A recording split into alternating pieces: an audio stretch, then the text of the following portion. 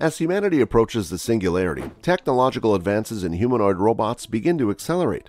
Of course, we're a long way from Netflix's altered carbon style future, but that doesn't mean we're not doing amazing things in engineering, artificial intelligence, and robotic design. Today in this video, we are going to watch latest footages of female humanoid robots. Excited like me?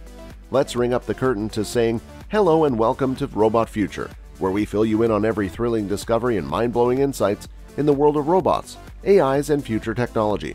So consider subscribing and hitting the bell notification for a ton of exciting robot content coming your way. Now without further ado, let's get into the video. Jia Jia, your future employee robot. Guess who is known as China's robot goddess?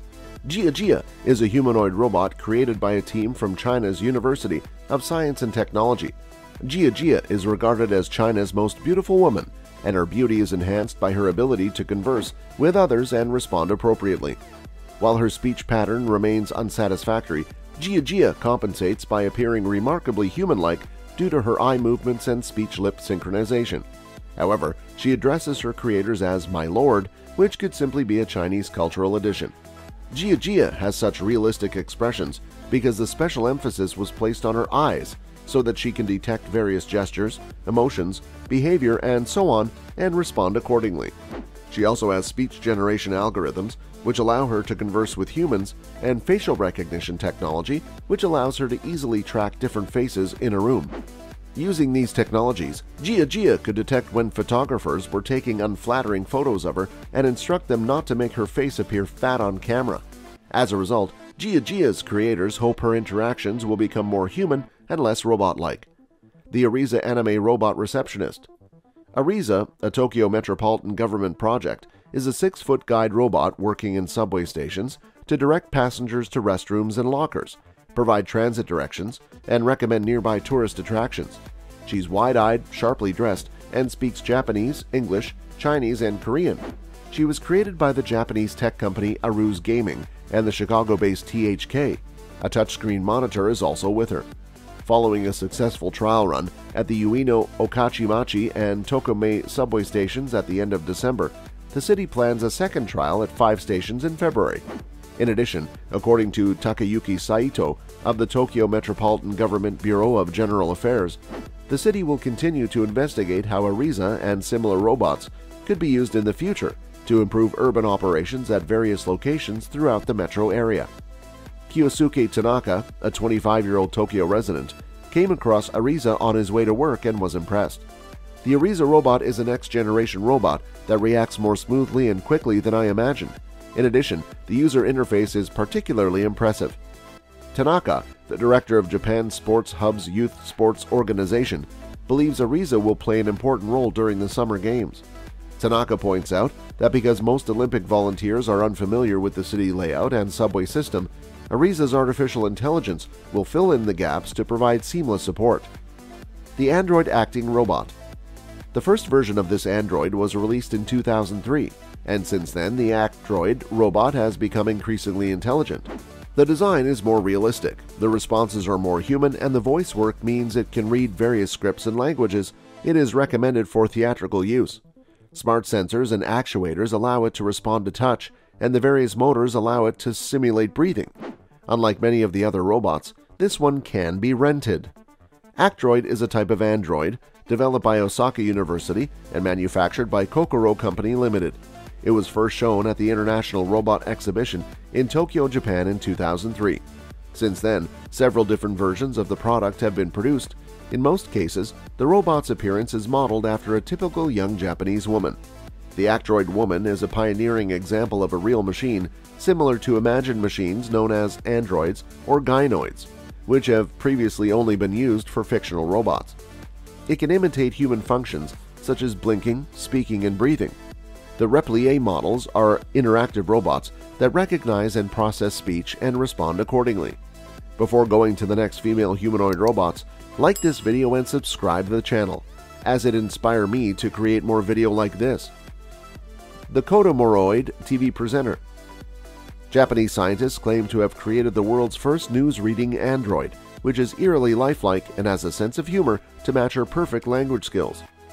The adolescent-looking Kodomoroid, A combination of the Japanese words Kodomo, child, and android informed reporters in Tokyo of an earthquake and an FBI raid. She even made fun of her creator, telling Hiroshi Ishiguro, a leading robotics professor, You're starting to look like a robot. When asked to introduce herself, the pitch perfect Kodomoroid was flanked by a grown up fellow robot who got stage fright and fluffed her lines. Otonoroid, Otona meaning adult, apologized after a brief reboot, saying, I'm a little nervous. Both androids will be stationed at Tokyo's National Museum of Emerging Science and Innovation interacting with visitors, and gathering data for Mr. Ishiguro's research into human reactions to machines. In the future, we will have more and more robots in our lives, Mr. Ishiguro predicted. You can fly with my androids, the torso in a suitcase and the head in a carry on. Mr. Ishiguro has a humanoid version of himself that he travels with to give lectures. It reduces my business trips, he explained. As technology advances, robots look and act more human, which makes us question our own worth. Otonoroid appeared to need rewiring before taking on her new role as the museum's science communicator, with her lips out of sync and her neck movements indicative of a bad night's sleep. Mr. Ishiguro, on the other hand, insisted that both would be invaluable to his ongoing research because museum visitors will be able to converse with the droids and operate them as extensions of their own bodies. This will provide us with critical feedback as we investigate the question of what it means to be human, says the 50 year old. We want robots to become more intelligent. After a successful debut earlier this month, SoftBank's Pepper, a chatty humanoid designed as a household companion, is set to go on sale in Japan next year for around $2,000. That's the same as a laptop computer, Mr. Ishiguro explained. It's amazing. Mr. Ishiguro's mechanical newscaster performed tongue twisters to the delight of their human counterparts as the line between humans and machines continued to blur. In the future, I hope to have my own TV show Kodomoroid said. Erica. At 23, Japan's newest news anchor would make her parents proud if she had any. According to the Wall Street Journal, Erica, a lifelike android designed to look like a 23 year old woman, may soon become a TV news anchor in Japan. Hiroshi Ishiguro, director of Osaka University's Intelligent Robotics Laboratory and Erica's creator, said the android will replace a human news anchor on the airwaves as soon as April. Erica, the android, might be a good fit for this desk job. She can recite scripted writing and sit in a chair easily, making her about as qualified for television as most humans are. According to Ishiguro, her charisma distinguishes Erica from other artificial intelligence. Erica can converse with humans thanks to speech generation algorithms, facial recognition technology, and infrared sensors that allow her to track faces across a room. According to Ishiguro Laboratories, Erica can independently move her facial features, neck, shoulders, and waist, allowing her to respond to human speech with uncanny autonomy. Erica's creator has described her as so lifelike that she could have a soul. Others might describe her as strange, but Erica will not be the first eerily lifelike robot to captivate a large human audience. Sophia, the first robot citizen of the world. Did you believe that only humans could be granted citizenship in a country? That's no longer the case. Sophia, a humanoid robot created by the Hong Kong based Hanson Robotics, was the first robot to be granted citizenship in any country. Sophia is now a Saudi Arabian citizen, and she is a very popular robot.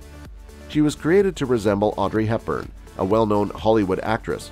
She has appeared in interviews with the United Nations, The Tonight Show with Jimmy Fallon in America, the British Broadcasting Company, and others. Mr. Hanson, Sophia's creator, believes she will be ideal as an elderly companion in nursing homes, a crowd manager at large events or parks, and so on. In short, he hopes Sophia will eventually develop enough social skills to interact convincingly with humans. These capabilities are built into Sophia through neural networks, expert robotic systems, natural language processing, machine perception, motor control, and other technologies.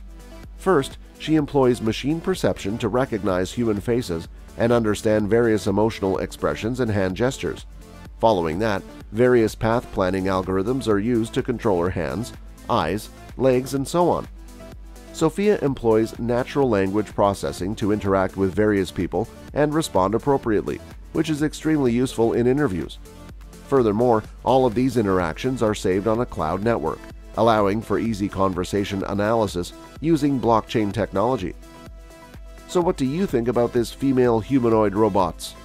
Are you shocked or surprised? Let me know, you though, in the comments section. Thank you so much for watching our video, and I hope to see you in the next one.